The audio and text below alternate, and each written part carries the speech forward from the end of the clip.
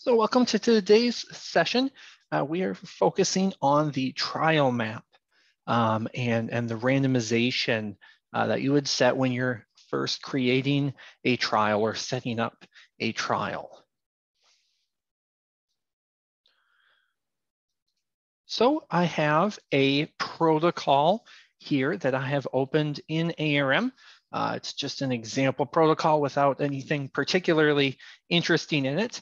Uh, but I've got uh, 12 treatments and handful of replicates just so we can um, kind of investigate uh, the different layout options um, when it comes to the trial map. So I'm starting in a protocol just so that way we can create a trial.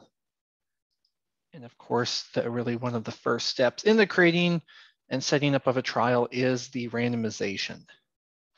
So I am um, doing that here in this create trial mode because it's very easy to re-randomize and get a new randomization. Uh, once you get into a trial, if you've already had that trial created, uh, you can typically do most of these things um, if you don't have any data entered. Once you enter in data, then some of the re-randomizing uh, options become disabled because ARM wouldn't be able to know how to um, link the data back if, if we totally tossed out the assignment of your, your treatment and the plots. So uh, certainly once, you know, before, before you put data in, uh, this is all possible uh, in a trial. But I'm going to do it even kind of before we're in the trial file just for the, uh, the ease of, of use there. So uh, I guess as we as we start here with cr creating the trial, that first step really is the, the trial map. And what comes up here is the randomization. We've just randomly assigned uh, treatments to the plots and the treatment description down below will show us kind of the, the color choice here. I'm just noticing I've got a couple of kind of quirks.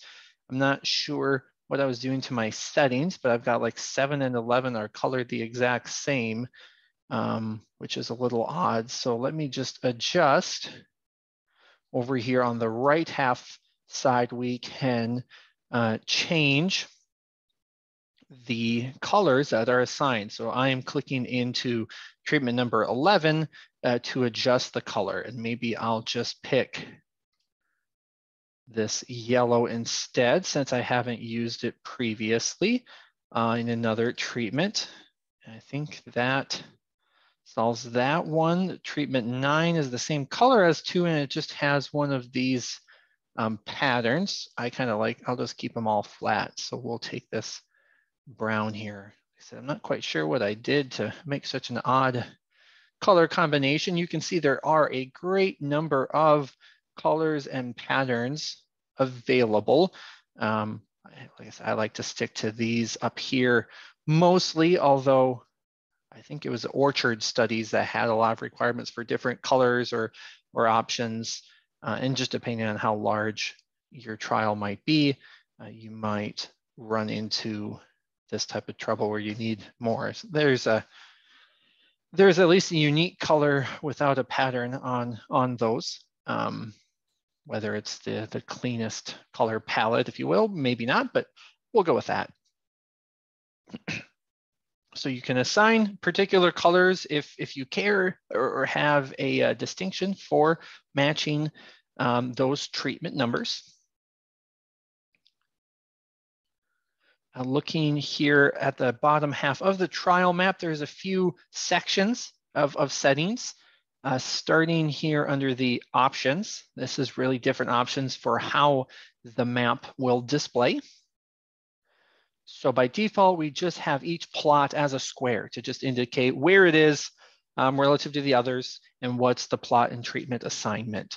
Uh, if you want a more realistic view of really what that trial will look like, using the show true scale will draw the map draw those plots according to, uh, you know, to scale. with the width and the length that you have entered in settings. Uh, if you have any alley size, um, you know, buffers between plots, things like that uh, will all be incorporated into uh, the drawing of the map. So you can see now our plots are more realistic, realistically shaped uh, for what they really truly will be uh, in the field. I'm going to toggle that back off just so it's a little easier to view the randomization. You can also toggle um, the plot numbers if you don't want to see the plot numbers. Um, border plots would be any, uh, any plots that are empty.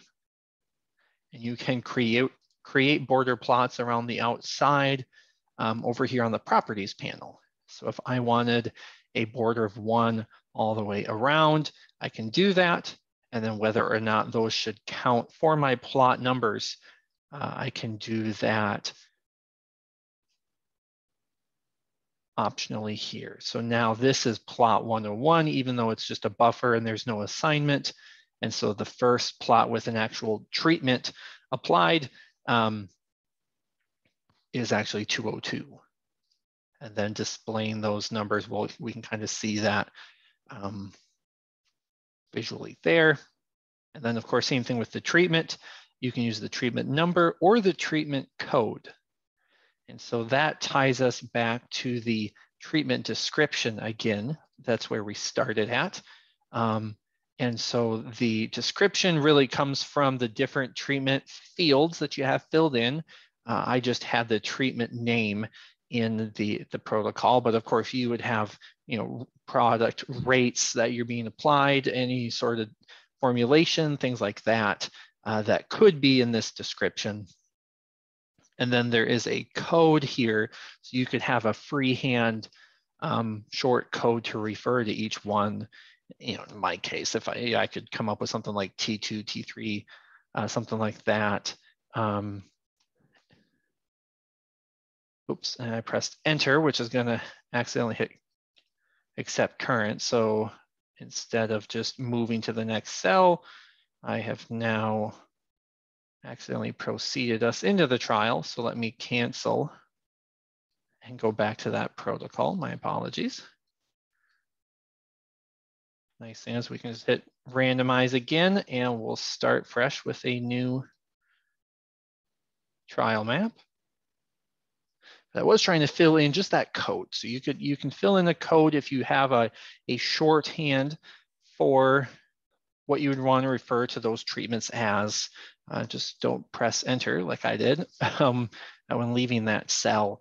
And then um, you can display that as the treatment code instead of just referring to uh, the number. So here, um, instead of just referring to treatment three, it's put in that code which in my case, I wasn't very original and just called it T3 instead. Uh, but you can see like my untreated check um, kind of automatically had that CHK in there. So that's kind of how that can display if you want to uh, call those treatments something else, basically.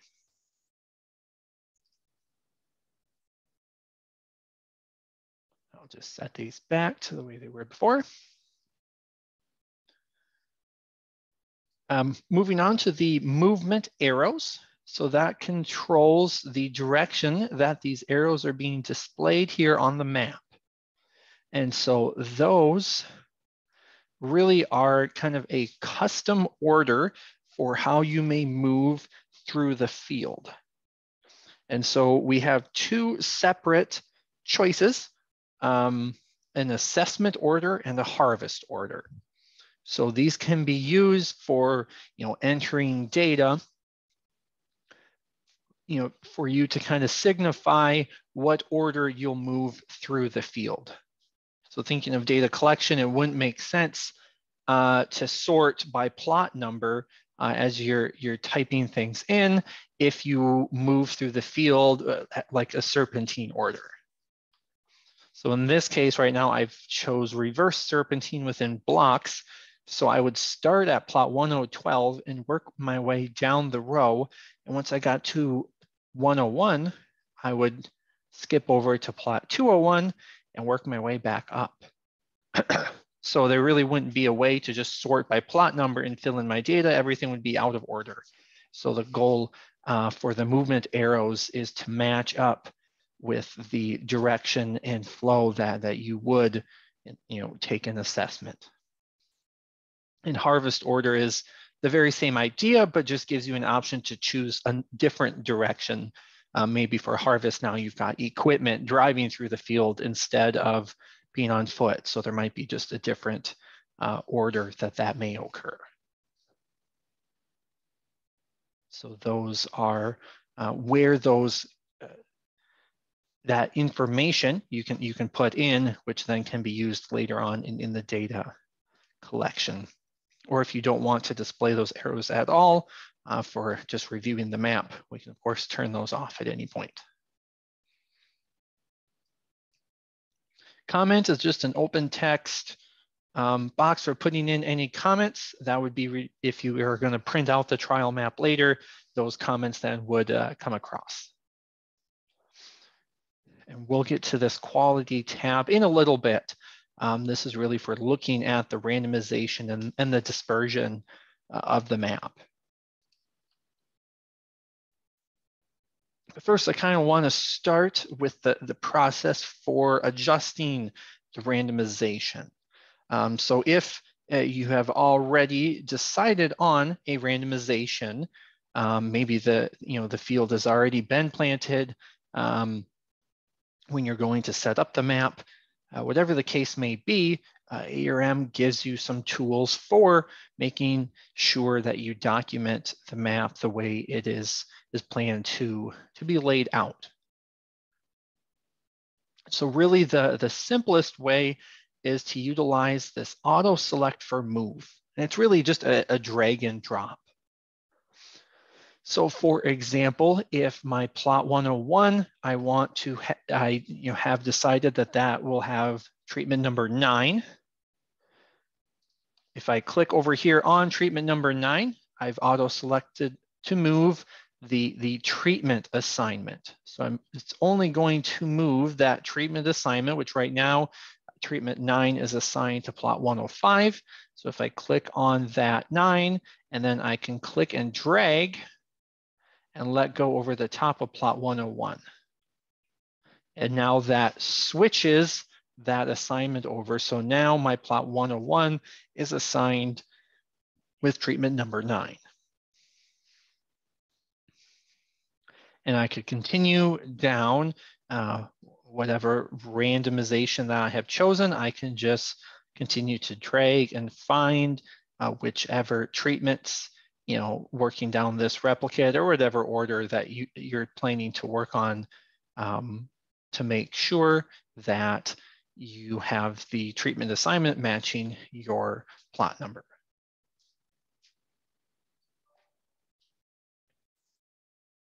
You can color so right now we've been coloring by the treatment to see uh, the different treatments that we're looking at. If get maybe a more overall view of the, the map, if we color by replicate, you can see uh, that we are in a randomized complete block. And so all 12 treatments um, are uh, across the, the field here.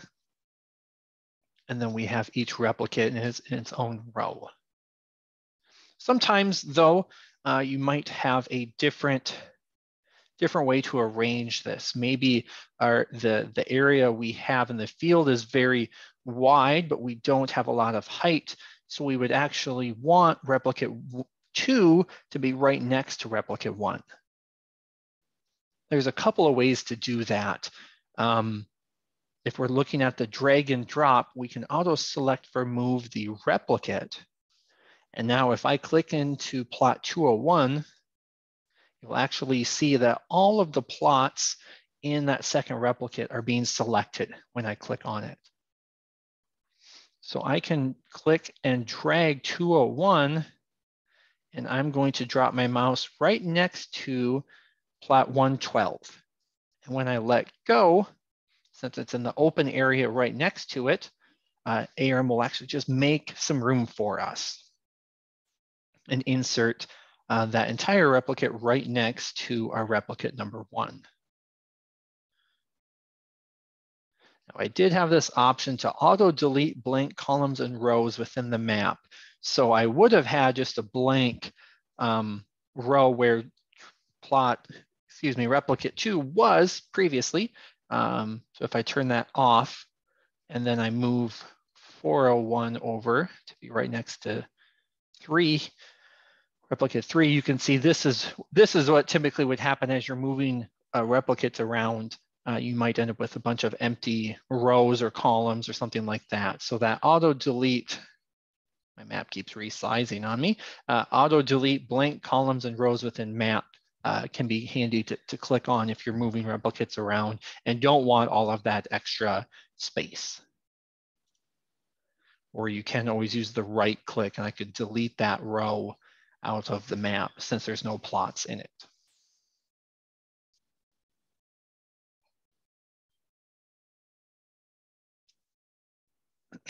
We can also use the right click if there's maybe like a, a uh, empty empty spot in the field um, that isn't isn't just you know kind of lined up with a particular um, buffer or anything like that. Um, if I right click and insert, maybe we have have a, a larger area between these replicates, for example. Uh, it's just what, what we have to uh, have in the field. I can insert a column. You really can insert it, insert it anywhere, uh, but that will put blank, blank plots uh, to give you that spacing you may need. And may, maybe there's a couple of them. Um,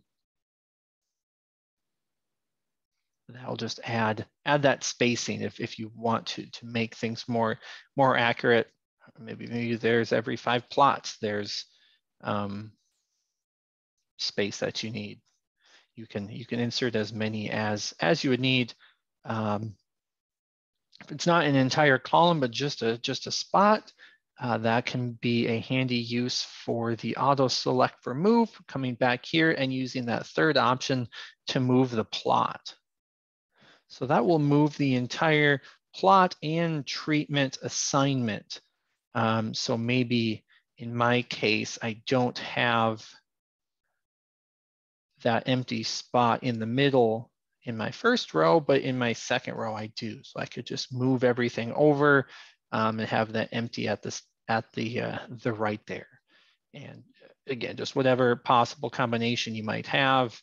Um, it kind of just helps you move around those, those boxes, uh, that whole assignment of the, the plot uh, to be wherever it needs to be uh, to match up what you have in the field.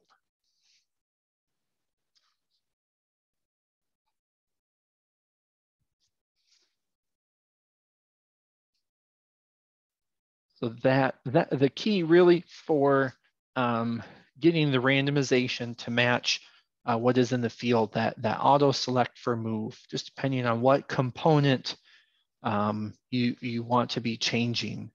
Uh, really have a lot of options for, for moving things around and lining things up to match.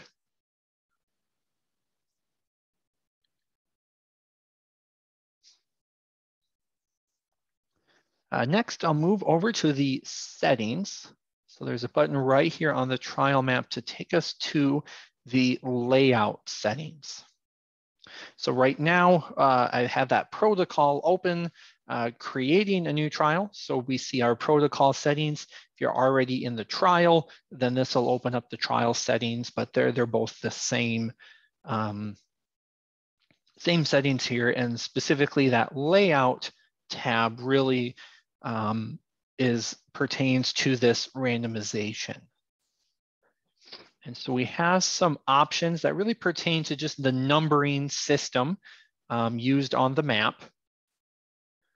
And so depending on whether uh, you're, you're numbering based on the, the replicate or by the block, uh, range by row and sequential are also uh, two other systems that, that we can uh, support for just how you would number uh, number the plots in the map. You can control kind of what corner of the map ARM starts that, that numbering system with. Uh, you know, serpentine numbering is, is an option you can toggle on.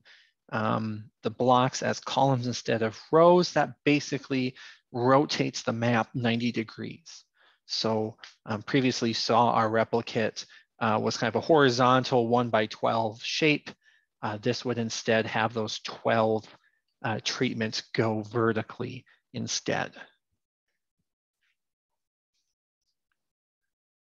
Uh, just running through some of these other options, the non-randomized replicate, this is which replicate number should be non-randomized. So uh, if I set that to one, then in my first replicate, plot 101 will have treatment one assigned to it. 102 will have treatment two, 103 with treatment three, etc. Um, that is that is done in, in some cases uh, for you know kind of having that first replicate be handy for uh, field tours, um, a, a, statistician, somebody um, who, who is really interested in a true randomization isn't necessarily a fan of that option. Um,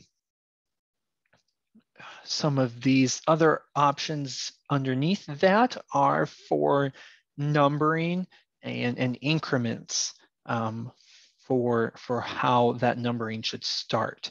So for example, the starting block number if this trial is, you know, on in the trial site, one of many, of course, across the entire field. Uh, if, if you really don't like starting over with 101 because this trial is right in the middle of, of everything and you want to kind of carry that plot system throughout your field, uh, you can do that and just adjust uh, the starting block number and also the starting plot offset. So to maybe demonstrate that, let's say this is actually um, block number nine. Then when I say okay, we'll go back to that map and it will adjust our numbering. So you can see instead of starting at 101, we actually, uh, th this is actually block nine instead. And then this is block 10 and our map, we've only got two blocks now because of how we've arranged it, but it would extend on. And then this is 901, but maybe this isn't all the way to the left side of the field. So if we wanted to start with a different uh, number there, that would be your starting plot number. So maybe this is actually kind of the, the 15th plot um, from, from the left in our whole field, changing that. Again, this is just changing the numbering system that we have. So now we're starting at plot 915 instead and calculating from there. So just some options for, um, again, getting things to match what is, what is in the field. Um, you can even change the increment between blocks. Um, if some some cases maybe you want four digits so then you would actually want it to jump by tens instead of ones or or what have you you can adjust the the way the numbering will work. Then we have the alley width. So we mentioned that when we did the um, true scale. So that would be the amount of space that you would want between blocks. And there's no unit because it assumes that it's the same unit you have on the general tab for, for the plot size. So here I've got a 10 by 30 foot plot. So the assumption is that the alley width is also in feet. So it's a one foot alley uh, between the blocks and only a half foot alley between each individual plot.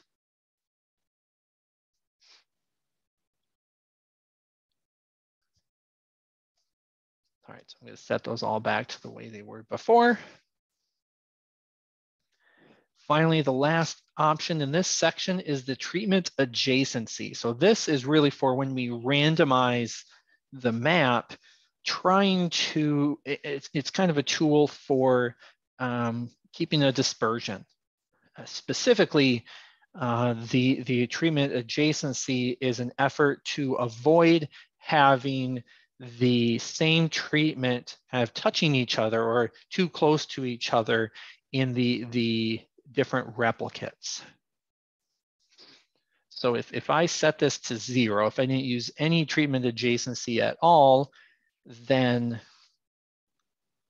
when we randomize, and here it has re-randomized for me, and let's color by treatment, then there's a chance that this could occur right here. We kind of got lucky that it did happen this time. Treatment five um, in replicate one just happened to be right next to treatment five in replicate two. So that's what we're trying to avoid with the treatment adjacency is saying that there has to be at least one plot away from each other um, across those replicates so they're not next to each other. Essentially what ARM does then is it still is generating a, a complete randomization, um, but if it arrives at a randomization like this one here, and actually we've got three of them in a row, um, with treatment one over here. So that's even worse. If uh, it'll generate the randomization and then it will check itself to see if there's any of those straight shots. There's seven and eight too. So you can see how, how often it can happen just by chance. And if the randomization ARM chooses has any, any of those um, situations here where, where they're touching them then it'll just randomize again. It'll just start from scratch and totally re-randomize um, until it has a case. And here I re-randomize kind of manually um, to see if we have any straight shots. And we've got one here, we've got three of them there, so we'd have to re-randomize again. Uh, so if we were doing this manually, you can imagine it might take a few tries in order to get it right. And we are not, not finding that. So instead, using the settings and setting the adjacency, now if we set this to one, we ARM will continue to re-randomize until it gets one that matches that criteria, essentially, where there are no straight shots. So it looks like seven, actually seven, eight, they end up, end up making a little square here, but we've insisted that you can't be right across from each other. So it has to be at minimum one plot away. So kind of that kitty corner effect. I could even, you know, make that larger if I wanted to, um, and go up to two. So now it has to be two plots away.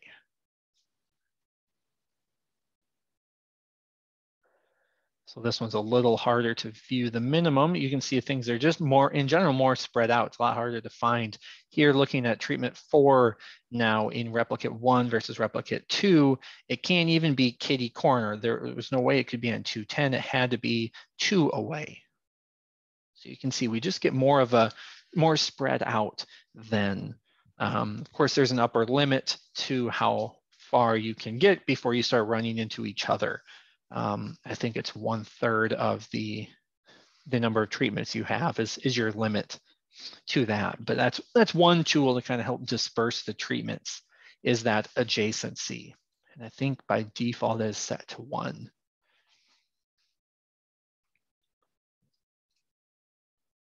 So that'll re-randomize again. And yep, now we have things a little bit closer, but still trying to avoid those, those straight shots. And we'll see with the quality tab some more, some more tools kind of in that same idea of, of getting a dispersion.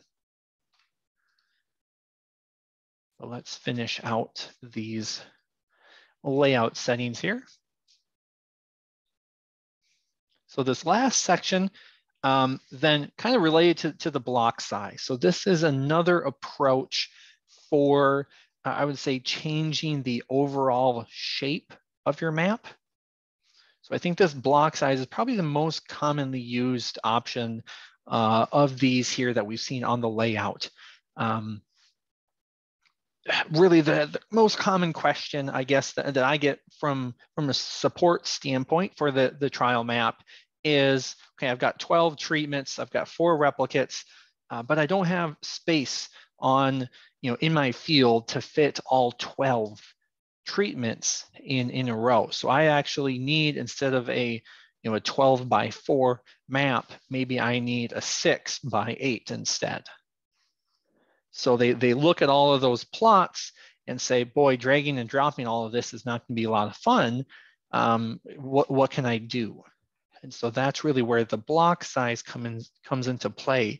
Uh, you can specify how many plots should be in that horizontal row, that, that block, uh, on your map. So if I change that to six, we'll see that the shape of the map will be totally different. And if I color by replicate to kind of visualize uh, what we have, now when we're going to create replicate one, we can only get six plots wide and then we have to start another row. So now we have two, uh, two rows here in our map devoted to replicate one and then replicate two, three, and four stacks on top of each other. We can also go the, the other direction. So uh, when we were showing the drag and drop, I made my plot really, my, my map really wide. So I had 12 in replicate one, and then I wanted replicate two right next to it. So we actually had 24. So you can also set the block size even larger than a replicate. And then if you choose to fill blocks, then after replicate one is filled in, we can just keep going with the plots in replicate two. So this is another way to get to that same kind of similar map to what we had before when we were dragging and dropping the entire replicates. So now replicate one has been filled in and then we still have more space within our block so we can start putting in replicate two and then three and four fill in. And you can have any combination, you know, those I picked really nice round numbers. Um, you could do something in between like 16 um, and just kind of see how that'll end up shaping out. This one ends up maybe a little weird because we fill in replicate one and then we only get four plots into replicate two. And then we start on that next block and do the rest of two and then three. So just depending on um, what your needs are, uh, you can, can kind of get the shape of the map to work. Sometimes a little, a little um, manual labor, if you will, of, of dragging and dropping might be necessary. So maybe we really don't want to have our replicates broken up quite like that. Um, so then we could always move around. In this case, maybe our, our plots. So I could swap these around so that way we've got things a little closer to each other. And one thing to, to notice that I'm auto selecting and moving the, the plot. So the assignment of the replicate is, is staying with that, that movement. So for example, if I was just trying to move the treatment assignment, ARM is going to uh, kind of check our design to make sure that as we're moving treatments around, we don't invalidate our design. So if I'm trying to move just treatment nine over to plot 210, you'll see I have a big X and it doesn't actually move it.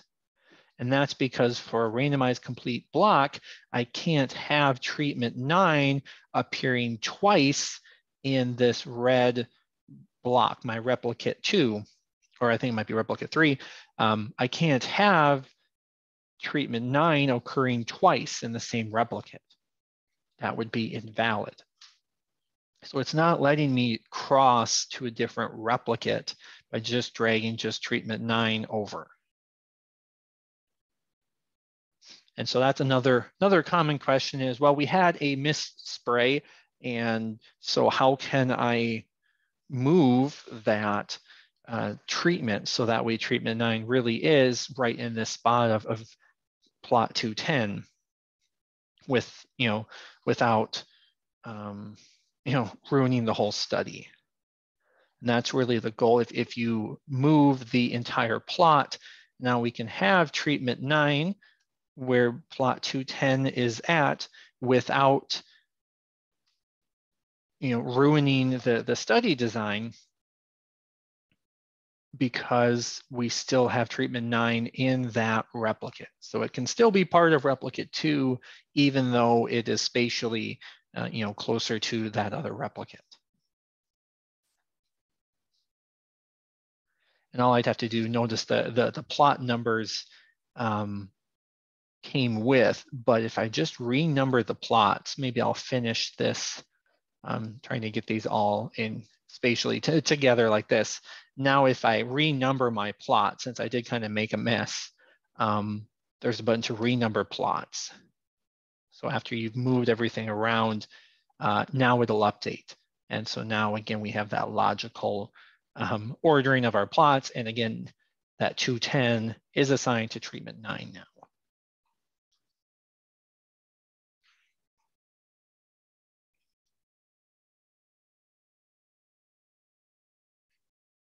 So sometimes it takes a combination of setting your block size to get your overall shape correct, but then some, some dragging around, uh, just depending on kind of what, uh, what the target is, what the map might need.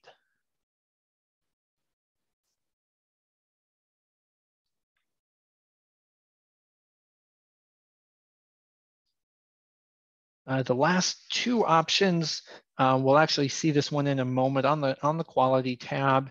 And the final one is about split plots. So we took a look at that at our previous webinar with, with the multi-factor designs. So it doesn't really apply to us here today in an, in an RCB design.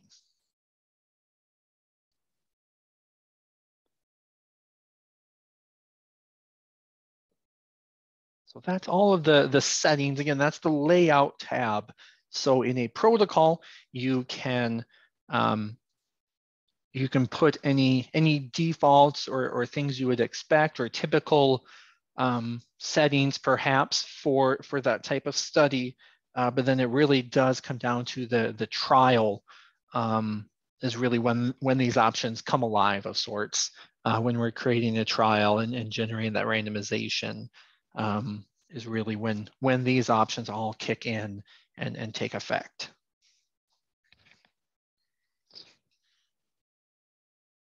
So let me put back our block size options. I think everything else is pretty much as default. So we'll get kind of a brand new randomization here. And color by treatment. So then last, but definitely not least, would be the quality tab. so this contains a few tools for um, really evaluating the randomization that ARM has given you.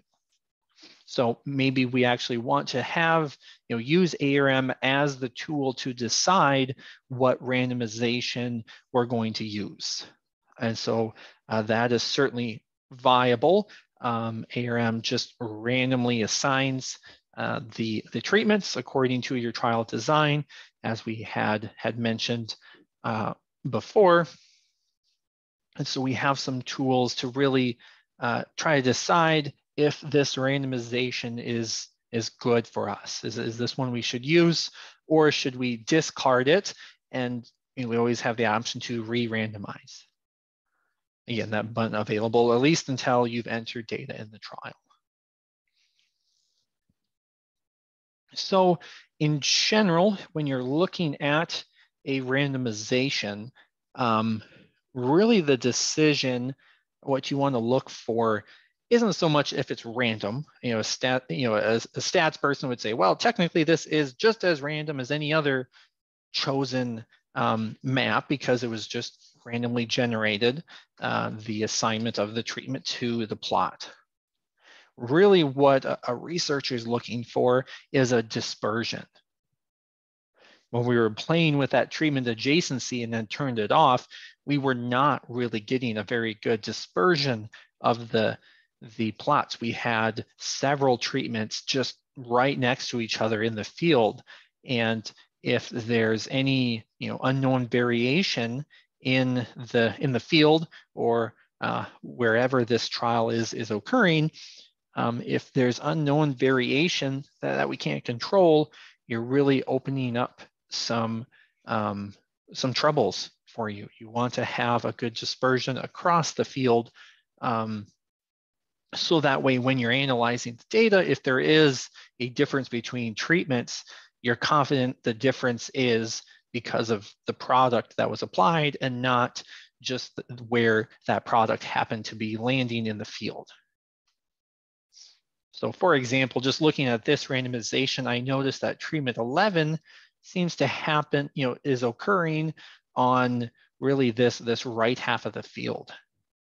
Even the right third, really, it's only these four um, four columns is really all it ever occurs on. So if by chance this happens to be the, the best yielding side of the field, or happens to have the, the worst drainage, or you know whatever the, case may be, then when we get done and we're analyzing the data, if treatment 11 looks significantly different than others, is it because treatment 11 is different, or is it because it happened to land in the part of a field that was different from you know treatment one or treatment 10. so that's where we really want that dispersion so everything's fair from the get-go essentially. And so that's the goal with the quality tab is to um, create the, the best randomization that we can. So um, really two, two main tools here. The one on the left is a suggested block size. So this uh, really, I guess the theory behind this one is if you have some choice in the, the shape of your map, so we would have some control over the, the block size that we choose, then the ideal choice would be to make the replicate as close to a square as possible. So here in this uh, table, we have various block sizes. So a block size of four, block size of six, and a block size of 12.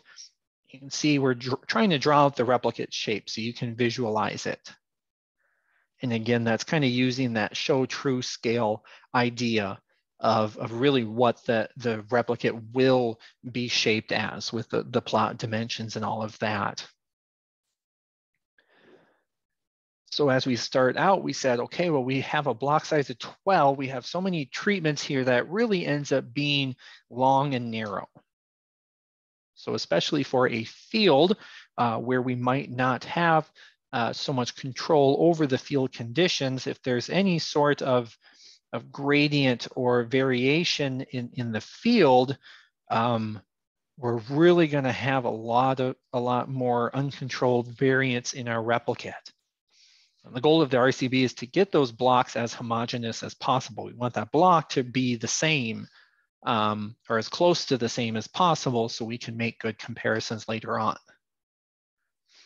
So the idea is kind of geometrically speaking, if we can get the replicate to be about a closer to a square than a long rectangle that these others end up being, the more square we can get that replicate shape, then the less variability we might be subjected to um, out in the field. So uh, that's the idea here. And so ARM is calculating based on you know, our, our plot dimensions, how wide is the replicate going to become? How long is the replicate going to be?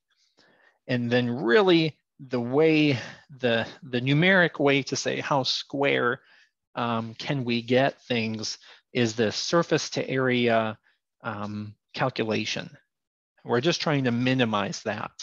So the this square uh, and this having a block size of six is pretty close to a square uh, from what I can tell, then that really minimizes the surface to area uh, ratio compared to this really long and, and narrow replicate has a worse uh, ratio. So that's how ARM calculates a suggested block size. So we put an asterisk and a bold to say that of these options, and we try to make it round. So of course, you know, a replicate of seven is gonna make a weird shape.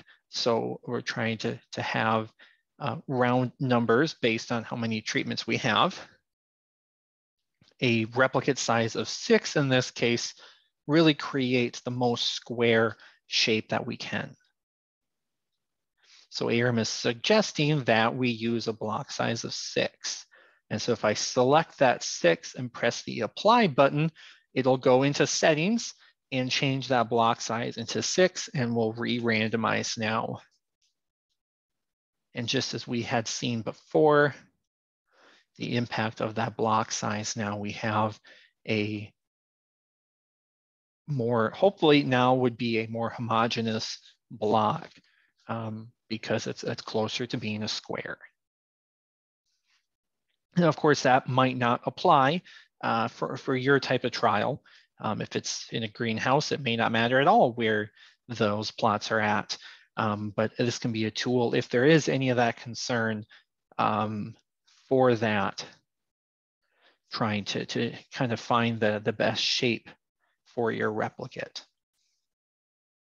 And of course, there's always, you know, there's always the hurdle of just still trying to fit it into the field.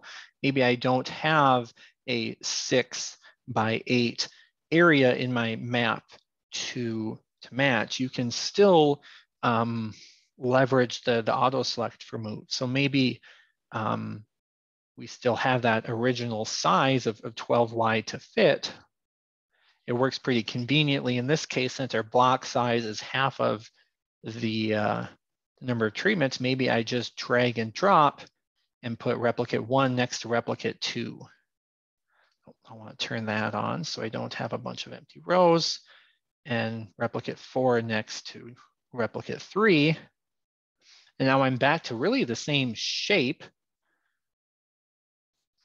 I color by treatment, we're in that same shape we always were, but our replicates are shaped better. So we'll end up with, with a better um, statistics, uh, hopefully with that homogeneous shape there. So it can become a little bit of an art form, um, depending, depending on all of the parameters you've got uh, to try to work with. Um, but just the hope is, is using the, the tool to uh, get some inspiration, if you will, of what would work. And maybe um, maybe block, the block size of four would work better with the practical limitations I have in the field. Uh, you can at least say that, well, a block size of four is closer to a square than a block size of 12. So maybe I'll make that work. It doesn't, doesn't mean you always have to pick the optimum one of the, the, the choices. You can at least use that uh, value to, to get closer to a square at least.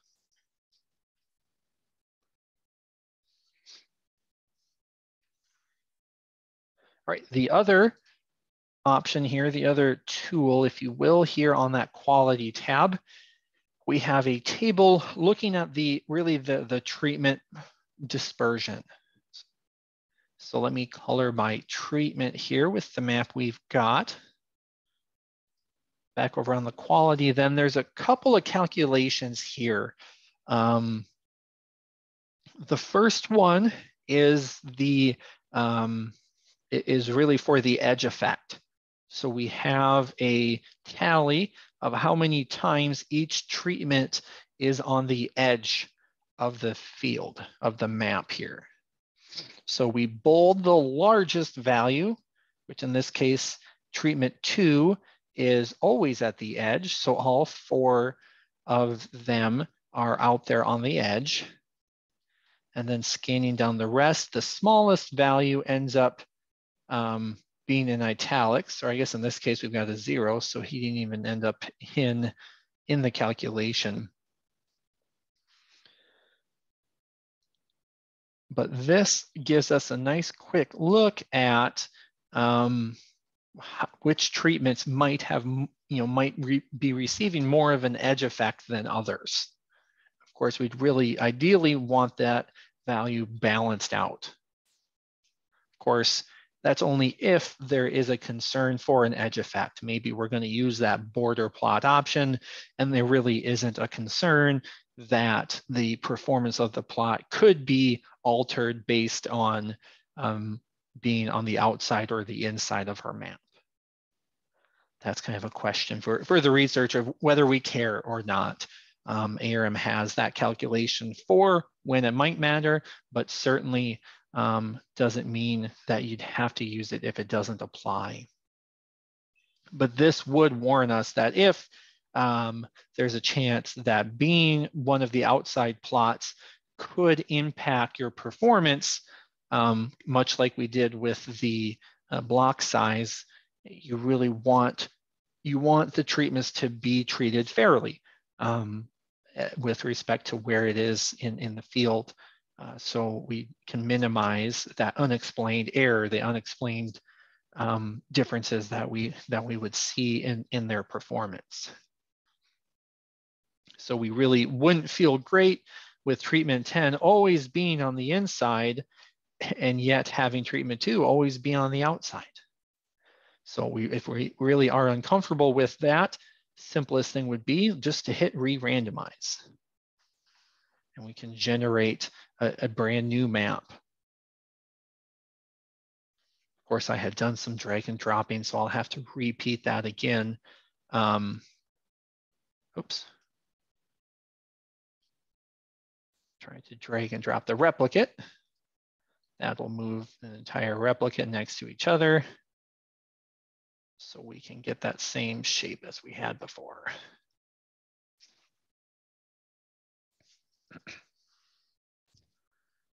And looks like we still kind of have some similar problems, but that, might just be the way it is. Um, but at any rate, you can see that the table will then update as you make changes or get a new randomization. Uh, the other the other calculation, we have a few different columns, but they all stem uh, from a calculation called average distance. And it is really a calculation to try to quantify uh, what we mean by dispersion.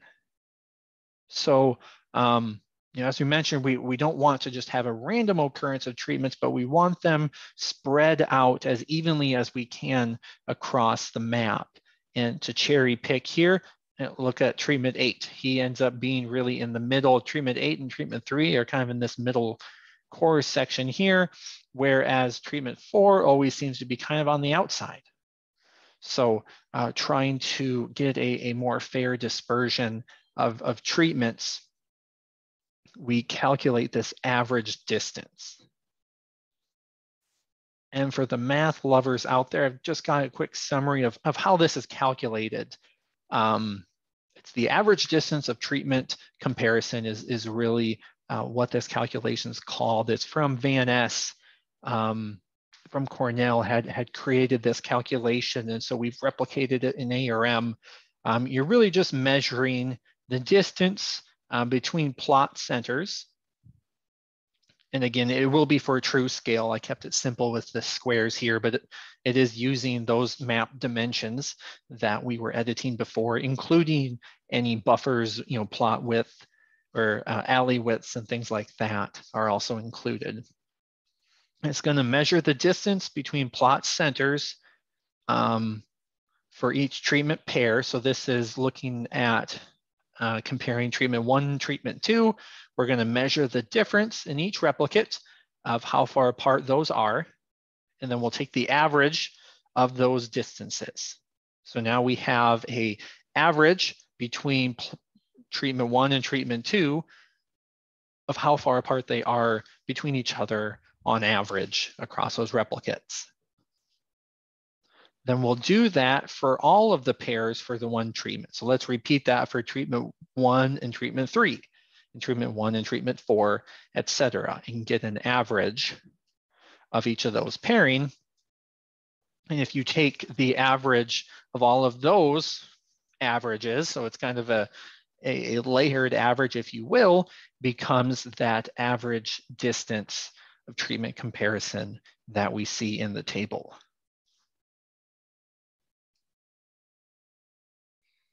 So that value there is this average distance. So our example here, the average distance of treatment one compared to all of the other treatments is 33.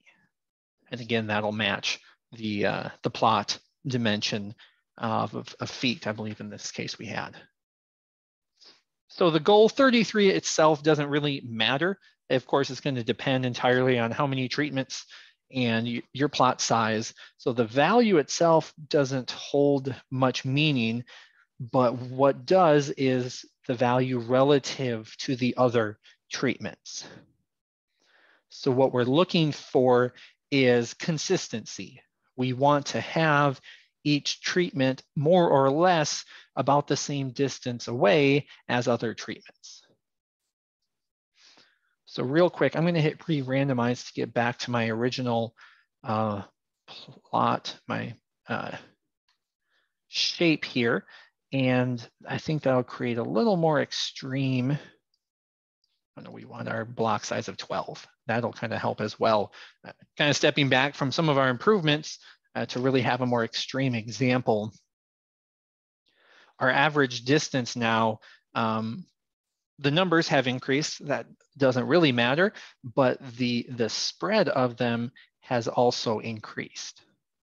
And so we can see again, the bold is the largest. So treatment three has an average of 58 feet from you know, all of the other treatments.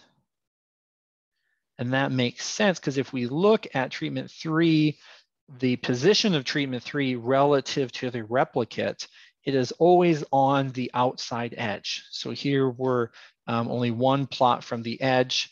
Uh, here we are on the very far right-hand side. This is on the very left, and this is only one from the left. So we're always on the outer side of the replicate. So it's always farther away from these other treatments compared to our smallest one, which is treatment 12. If we look at treatment 12, it's always pretty close to the middle of the replicate. These right in the middle or one or two plots away. So treatment 12 ends up being closer to the other treatments um, than treatment three does.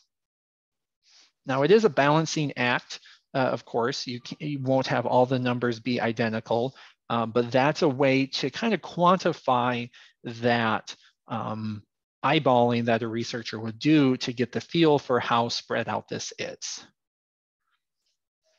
And so uh, just depending on how many numbers you want to dive into, we, we give the standard deviation, uh, which would show kind of how, how consistent that is, and then the minimum and the maximum as well. Um, so just depending on how deep you want to dive into that, you can get really statistical in, in you know in that sense of, of seeing how those numbers play out. Uh, but the bare minimum really just just look down that list of average distances and see what stands out. Um, overall, we really didn't do too bad. They're they're mostly all in the, the 40s other than a couple of these extreme cases. And so if we could, we can live with that. Treatment three is, is maybe a little, a little wild, but that the worst middle one wasn't so bad. So maybe we can live with it, or maybe, maybe we'd rather re-randomize because we aren't, um, maybe we're not too thrilled or we're kind of stuck with this plot's shape, trial shape. So we can't do any of the block sizes. Uh, so we're just gonna keep re-randomizing until we get a a more consistent, this looks like it's kind of similar, different treatment. Treatment eight now is the one that's really extreme. Uh, and treatment 11 is in the middle. So maybe we don't really like that one. Um, that's, that's just a way to kind of use, use that calculation um, to get a sense, um, put a number to that sense, that intuition you may have from looking at a map uh, to decide if it's if it's spread out enough uh, or not. And actually, if we you know if we make this suggested block size change, I'd specifically roll that back because that typically creates a little more extreme um, values. Uh, but you can see if you put these together, then just putting that kind of square shape obviously the numbers themselves are smaller, but actually our consistency is better. Um, 36 is the worst and or the largest and 29 is the smallest. We actually have a really nice consistent um, dispersion as well.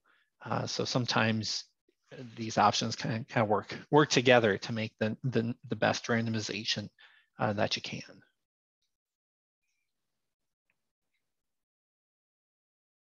All right, well, I got a little long-winded, ran just a couple minutes over. Uh, I appreciate you guys joining us today. That's about all I had to cover. Uh, I can stay on for, for a couple minutes if there are questions, but don't want to hold anyone hostage. So uh, appreciate appreciate you joining us today, as well as you know over the last uh, couple of months of, of running webinars. As I mentioned kind of at the beginning, uh, we we are going on hiatus now for, for a little while, um, but be looking for us again uh, when fall comes. Uh, we'll we'll do the, the other side of the coin, um, working on on trial summaries and, and trial related features and some statistics if if you're brave enough. So. Thanks, everybody.